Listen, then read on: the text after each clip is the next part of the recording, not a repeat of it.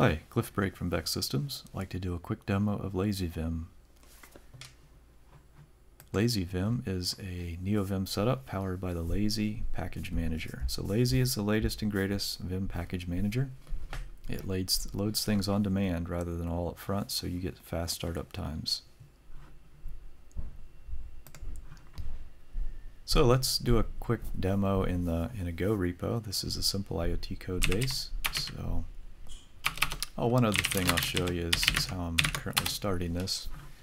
So I set up a parallel Vim config using the nvim app name variable, and this tells tells uh, Vim to look in dot .config lazy Vim for the config rather than the standard .config nvim location. So this is available in NeoVim 0.9.0, this nvim app name. So let's um, start Vim.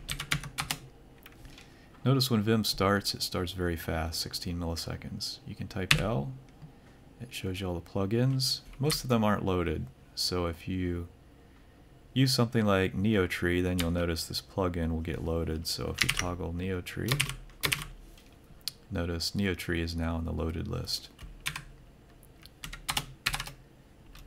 When you type the leader key, you get a nice help screen that shows you the shortcuts. So you don't have to remember all the shortcuts. You can explore as you go, and then the ones you tend to look, use over time are the ones you'll learn.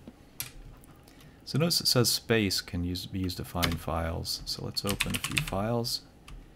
Recently been adding Shelly device support to Simple IoT, so let's open a few of those files. Shelly IO. And let's add a point file too. You can go between buffers with capital H and capital L. I like that a lot. I like tabs at the top. The status line at the bottom is perfect. It just really shows us a lot of nice information. Our Git branch, the file we're on, the function we're in, last command, and, and so on. Where we're at in the file. If we hit the star key to, to search, notice it highlights all the matches, but it also shows the number of matches in our current match. So we can see this is incrementing as we go down through the file. So now we know we're on the last ma match. We'll wrap around to the beginning.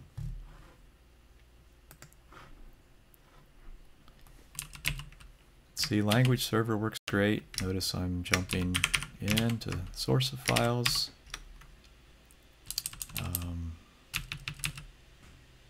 If I want to see where all files, uh, a symbol is used, I can just go to references and show me where all it's used. If I type leader SS, leader search symbols, shows me all the symbols in this file. So this provides a nice outline of what's in this file, this module. And I can quickly jump to a, a, certain function. If I want to go to the run function, I just type run, boom, I'm there.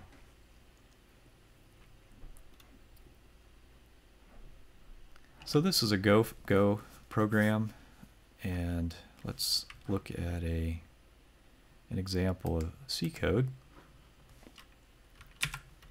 So this is a Zephyr project. It's written in C, and it's a very large project, or I should say relatively large.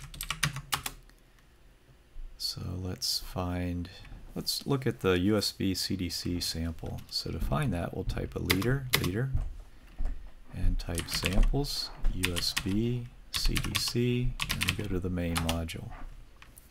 So notice the fuzzy finder, we can very quickly get to where we want to go. Again, code navigation works perfectly with the ClangD language server.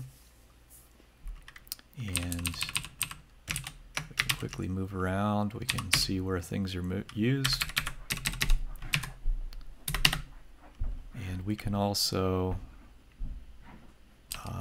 do code formatting. So notice if, if we make a change and we save it, it reformats our code for us using the Clang formatter. So how ClangD works is it uses a, let's see if we can find this file, build, and then compile commands. So when when uh, Zephyr builds, it it generates this compile commands, which is a wrapper around the build, and it logs every file it compiles along with the arguments. And this this gives the ClangD language server information on what all what all files are used. And that way it doesn't have to index everything. It can just index the files that are actually used to build the project. And th this is all integrated into the Zephyr build, so it's it's set up out of the box, ready to go. Another thing Zephyr provides is a Clang format. So the Zephyr project has established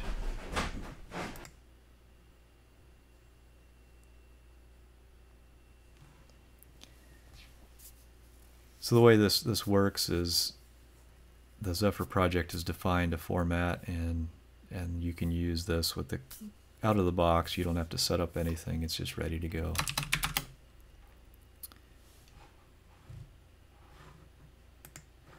So I'll show you, oh, one other thing that's very useful in the, uh, let's see, let's open up that file again. Samples, USB, CDC, main. Let's say we want to make a change, but we we know this file has not been auto-formatted. We, we just may want to bug fix and let's say we want to change this to 128 but we don't want to reformat the file because we know it could cause a bunch of changes that we don't we don't we only want to change one line. So we can turn off auto formatting with leader UI and toggle format on save. And now if let's just make a save this. Notice the format wasn't changed and we can turn that back on with leader UF and save it. Now it is changed. So being able to turn off auto formatting on the fly, especially if you're if you're working in open source projects and you have to tweak things, you don't want to reformat the whole file.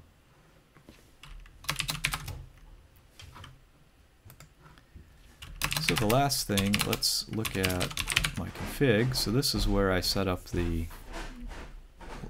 uh, changes I've made. Let's see. LazyVim. So again, I'm, I'm, I'm loading an alternate config with dot .config LazyVim. And let's look at the changes I've made. So they're in plugins.